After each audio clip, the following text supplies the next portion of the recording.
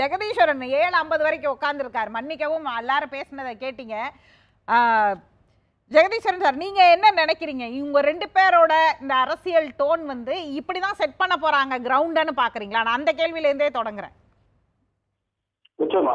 நீங்க வந்து எடப்பாடி குறித்து நிறைய பேசியிருக்கோம். ஏற்கனவே வந்து அவர் நாடகம் ஆடுகிறாரா இல்லையா திமுக விமர்சிப்பது சரியா போன்ற விஷயங்கள்லாம் பேசியிருக்கோம்.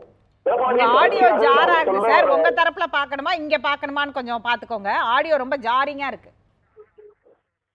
இப்போ இப்போ கேக்குதா? பேசுங்க.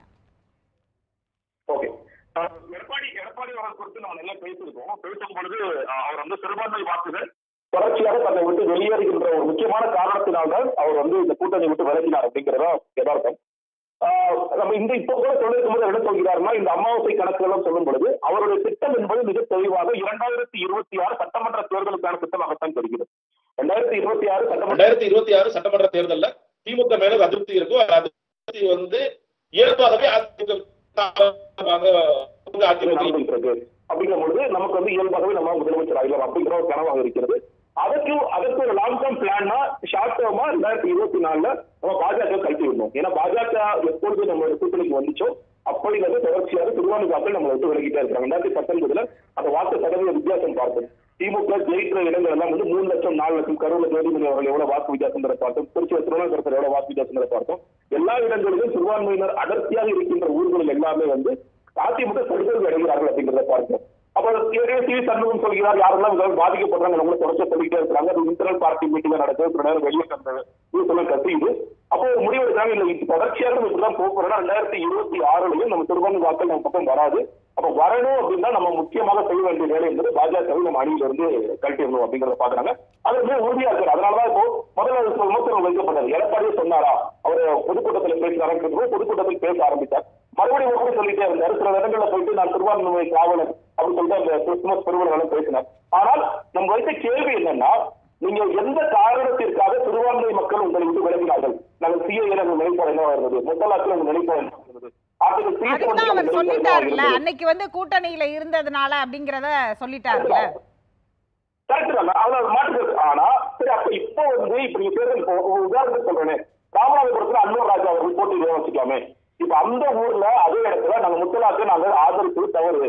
சிஏஓ ஆதரிப்பு தவறு அப்படிங்கறத வெளிப்படையா பேசுவாரா தேர்தல் காலம் ஆரம்பிச்சிருச்சு. இந்த தேர்தல் திருவிழாக்கு ஆரம்பிச்சிருச்சு. அது இப்பயே பேசணும் அப்படின்னு பார்த்தேன். ஆனா நேற்று ஒரு இரண்டு இரண்டு நாட்களுக்கு முன்னாடி எடப்பாடி பேசுகிற ஒரு மாற்றம் எதிர்பார்க்கிறேன். துணிச்சலான ஸ்டேட்மெண்ட் தான்.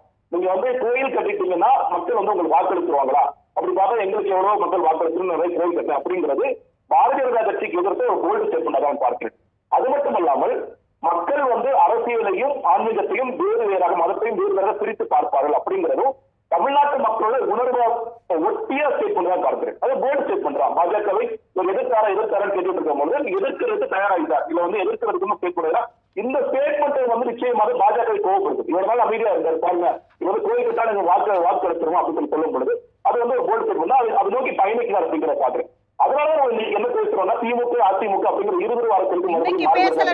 தேர்தல் நேரத்துல பேசிதானே ஆகணும். அவங்க தனித்து கூட்டணி களம் காண்கிறார்கள்னா நாடாளுமன்ற தேர்தலுக்கு தேர்தலுக்கு யாரை எதிர்த்துங்கிற இடத்துல அதிமுக அந்த புள்ளியை தொட்டு தானே ஆகணும். திமுக தொடர்ச்சியாக பாஜகவும் அதிமுகவும் நாடகம் ஆடுகிறார்கள் சொல்லும் பொழுது அதுல சொல்றாங்க? ஏன்னா ஒரு பக்கம் அதிமுக தொடர்ச்சி மறுபடியும் மறுபடியும் சொல்லிட்டே இருக்காரு? நாங்க கூட்டணி இல்லைன்னா கூட்டணி இல்லைன்னு விலகி வந்தோம் சொல்றாரு. ஆனா அதை அக்னாலேஜ் பண்றதுக்கு இன்னைக்கு வரைக்கும் பாஜக தயாரா இல்ல சட்டத்திற்கு தயாரா இல்ல பாஜக பேசுகின்ற செய்தி தொடர்பாளர்களா அரசியல் மக்கள் பேசும்போது இல்ல இந்த சீட் ஷேரிங் கிடைச்சா நடந்துரும். அந்த இந்த அணிக்குள்ள எப்படி எடப்பாடி வந்துருவார் அப்படிங்கிற விஷயத்த சொல்லிட்டு இருக்காங்க அவங்களுக்கு வந்து எடப்பாடி வந்து நம்ம சில சீட் வின் பண்ணலாம் அப்படிங்கறத பாத்துட்டே இருக்காங்க அப்ப அந்த புள்ளியை வந்து இன்னும் கொஞ்சம் லேட்டா தொடர்ந்த மாதிரி இப்ப தொட ஆரம்பிச்சிடுவான்னு பார்க்கும்போது அதோட ஆரம்பிச்சார் அப்படிங்கறத பாக்குறேன் அதனால இந்த காலம் எப்படி மறுபடியும் மாறுகிறதுனா இந்த இன்னைய தேதிக்கு இப்போதைக்கு வந்து ஒரு மும்முனை போட்டியோ அல்லது வந்து ஒரு பல்முனை போட்டியோன்னு மாறும் பொழுது உண்மையாகவே வந்து இங்கே எப்படியான ஒன்றா இந்த ஷீட் ஷேரிங் ஷீட் ஷேரிங்லாம் ரெண்டாவது விஷயம் அவங்க கூட்டணியை முன்னிறுத்துறதுன்னு ஒன்று இருக்கும்ல அந்த புள்ளியில் வந்து இப்போ அதிமுக வந்து ஒரு திமுக எதிர்ப்புங்கிற மனநிலையில் இருந்து இதை அணுகுவாங்களா?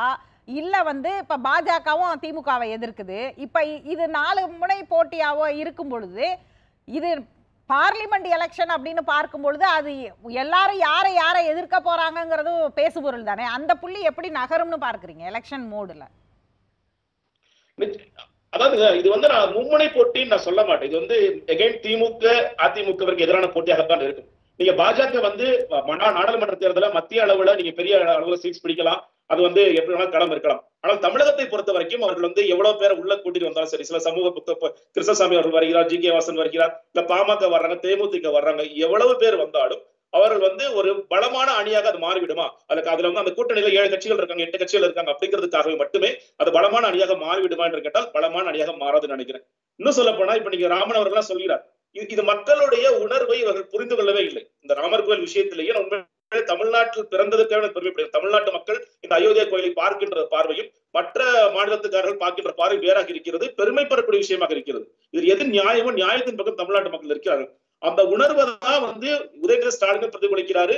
ஸ்டாலின் அவர்களும் பிரதிபலிக்கிறாரு. இன்னைக்கு வந்து எடப்பாடி பழனிசாமி அவர்களும் பிரதிபலிக்கிறார் அப்படிங்கறத பார்க்கிறேன். இப்ப இந்த களம் வந்து இந்த திமுக அதிமுக நாடாளுமன்ற தேர்தலையும் இருக்கும் ஆனா திமுகவிற்கு இரண்டுமே பேச வேண்டிய அவசியம் இருக்கிறது. ஏன்னா அவங்க இந்தியா கூட்டணிக்குள்ள ஒரு பக்கம் இருக்கிறாங்க. அதனால வந்து பாஜக எதிர்க்க வேண்டிய அவசியம் இருக்கிறது. அதே சமயத்தில் அதிமுக வந்து திமுக தான் அட்டாக் பண்ணுவாங்க. இல்ல இப்ப இப்ப இன்னைக்கு அக்னிஸ்வரன் மறுபடியும் நீங்க தொடர்ச்சியா என்ன பேசிட்டே வராங்க? இப்ப அக்னிஸ்வரன் மாதிரி போன்றவர்கள் பேச பேசும்போது இவங்க வந்து மேனிபெஸ்டோ எவ்வளவு தூரம் செயல்படுத்திருக்காங்க நீங்க கிளம்பாக்கம் பேருந்து நிலையத்துல என்ன பிரச்சனை பாருங்க. சட்டம் ஒழுங்கு பிரச்சனை என்னவா இருக்குன்னு சொல்லி பாருங்க. ஏன்னா அவங்களுடைய போக்கஸ் என்பது நீங்க பெரிய லெவல்ல நாடாளுமன்ற தேர்தலுக்கான போக்கஸா பேச முடியாது. ஏன்னா நீங்க அந்த நாடாளுமன்ற தேர்தல் போக்கஸ்க்கான பேசுனீங்கன்னா உங்களுடைய பிரதமர் வேட்பாளர் யாருன்னு மறுபடியும் இந்த கேள்வி. அவங்கள பொறுத்த வரைக்கும் நான் சொல்ல எடப்பாடி பழனிசாமி பொறுத்த வரைக்கும் நாடாளுமன்ற தேர்தல் என்பது பெரிய போக்கஸே இல்ல. இதுல நிக்க வேண்டிய அவசியம் இருக்கிறது கட்டாயம் இருக்கிறது. அதனால நிற்போம். நம்ம வாக்கு வங்கி என்னங்கிற டெஸ்ட் பண்ணி பாத்துருவோம் ரெண்டாயிரத்தி இருபத்தி ஆறுக்கான பிளான் தான் அது அந்த பிளான்ல ரெண்டாயிரத்தி இருபத்தி நாலுல பாஜகவுடன் போகின்ற சில கட்சிகள் கூட ரெண்டாயிரத்தி இருபத்தி ஆறுல மறுபடியும் மாறுவாங்க. யாரையும் மாறக்கூடாது நம்ம கட்டாயப்படுத்த முடியாது. இன்னைக்கு அங்க தேமுதிக இங்க போறாங்க பாமக போறாங்க கிருஷ்ணசாமி போறாரு ஜி கே வாசன் போறாருன்னா ரெண்டாயிரத்தி இருபத்தி ஏழு தேவைப்பட்ட அவங்களாம் மறுபடியும் வரக்கூடிய வாய்ப்புகளும் இருக்கு அந்த ஒரு கணக்கு தான் பண்றாரு. அந்த கணக்குல இந்த பாஜகவை நம்ம சேர்த்துடக்கூடாது இல்ல பாஜக அணிக்குள்ள நம்ம போயிடக்கூடாது அப்படிங்கிறத ரொம்ப கவனமா செயல்படுகிறார் திமுக பொறுத்த வரைக்கும் இருவரையுமே எதிர்க்க வேண்டிய அவசியம் இருக்கிறது. ஆனா இன்னொன்னு இன்னைக்கு திமுக வந்து இப்ப அதிமுக அந்த சிக்கலை தாண்டி இன்னைக்கு பாக்குறோம் நிதிஷ்குமார் பிரச்சனை மம்தா பானர்ஜி பிரச்சனை அரவிந்த் கெஜ்ரிவால் பிரச்சனை இந்தியா கூட்டணிக்குள்ள முக்கிய அங்கம் வகிக்கின்ற கட்சியா கட்சியாக இருக்கின்ற காரணத்தினால் இதை சமாளிக்க வேண்டிய அவசியம் இருக்கிறது இது இம்பாக்ட் பண்ணும். நீங்க யாருமே சொல்லாத போது ராகுல் காந்திங்க பிரதமர் அப்படின்னு சொல்லிட்டு ரெண்டாயிரத்தி பத்தொன்பதுல ஸ்டாலின் அவர்கள் முழங்கினா அதற்கு ஏற்றார் போது இங்க வந்து அட்மோஸ்ட் கம்ப்ளீட் ஸ்வீப் முப்பத்தி ஒன்பது இடங்கள் பெற முடிந்தது. இன்னைக்கு இருக்கிற சிக்கல் என்பது இந்தியா கூட்டணிக்குள்ள இருக்கிற குழப்பத்தை மக்கள் பார்த்து கொண்டிருக்கிறார்கள். ஒரு தெளிவான கூட்டணி வந்துட்டு இருக்கு. திடீர்னு என்ன விரிசல் ஏற்படுது பிரச்சனைகள் ஏற்படுது அப்படிங்கிறது அப்ப என்ன ஆகும்? பாஜகவுக்கு சாதகமான களமாக மாறிவிடுமோ? அப்படிங்கிற ஒரு தாக்கம் இங்கேயும் ஏற்படும். அப்ப அந்த தாக்கத்தை குறைக்கணும்னா மு க ஸ்டாலின் அவர்கள் முதல் அவர் முதல் தொடர்ச்சியா சொல்லிட்டு வர மாதிரி இது யார் வரக்கூடாத தேர்தல் என்று சொன்னால் அதை எவ்வாறு சரி செய்வது?